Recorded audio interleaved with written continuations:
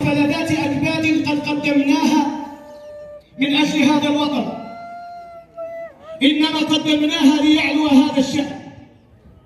قدمناها لتتحقق الغايات العلى. ونذكر بقول النبي صلى الله عليه وسلم كل ميسر لما خلق له. في هذا العيد الذي نسأل الله أن يتقبل شهداءنا وأن يكتب كتابهم في عليين. قول الله عز وجل قل كل ميسر لما خلق له. الحمد لله رب العالمين.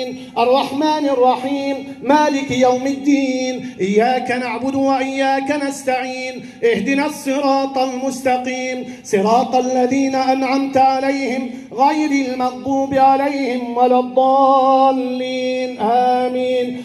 نطالب بالقيمة النهائية. حق نحب نعرف الجيتة ونحب آه، ناخذ حقي من الجيتة ونقول للجيتة ما تفرحش إيش باش يفرح كرا جيتة يا جيتة الروح وين تروح؟ جيبيني دين الله ويخلص منك عبد القادر اللي قتلته من غير ذنب ومن غير حتى شيء. يقعدوا فينا بالوعيد الكذبة أنا شهيد تو يكذبوا علينا بزالوا يكذبوا علينا زادوا خرجوني من حظيرة وهذاك الناس متقاتلة على الكراسي في تونس من أجل دم ولدنا ونحن ما خذينا حد شيء وما عطونا حد شيء وما سر لنا حد شيء. نطلب في حق ولدي فهمتي ومشينا أمس لتونس قابلنا قابلنا الوزير فهمتي وعدنا اليوم باش يجي ويجيب لنا الكلمة الصحيح. هنستنوا فيه؟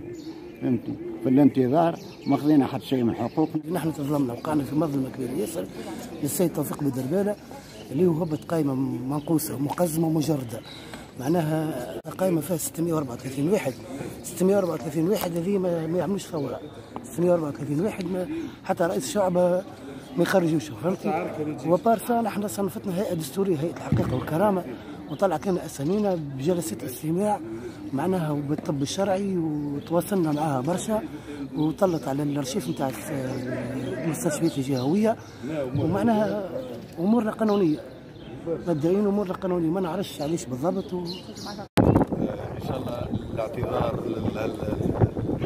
لعائلات الشهداء والاعتذار معنا لعائلات الجرحى بيكون عن طريق معنا مشاريع فعلية خاصة في قطاعات الصحة وقطاعات ال- ال- ال- التربية والقطاعات الاجتماعية. بالطبيعة إحنا لعائلة الشهداء وعائلة الجرحى. كانت أمس جلسة على مستوى آه، رئاسه الحكومة بإذن من السيد رئيس الحكومة آه، في إنصات ربما أهم المقترحات في معناها كيفية الخروج معناها نتاع الشهداء والجرحى. إن شاء الله معناها الأيام اللي جاية تكون معناها أيام فرحه بالنسبة لعائلات الشهداء أحنا بالنسبة لنا على المستوى الجهوي بالطبيعة معنا الإحاطة الاجتماعية ما لازمش تكون معنا آه، مربوطة بيوم 8 جانفي ولكن لازمها تكون على مدار السنة.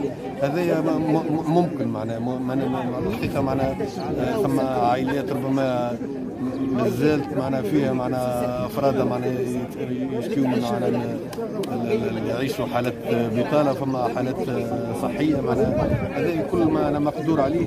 وماهوش عمل معنا نتاع مناسبة نتاع 8 جانفي ولا 14 جانفي ولكن يكون عمل متواصل على مدار السنة. وإحنا معنا على ذمة